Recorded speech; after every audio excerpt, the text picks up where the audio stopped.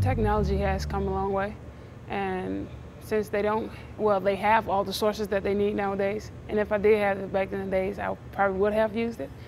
But um, it's just a great feeling knowing that you don't have to listen to a coach nag you all the time, and you can just listen and learn. Uh, I think that's a great way as well.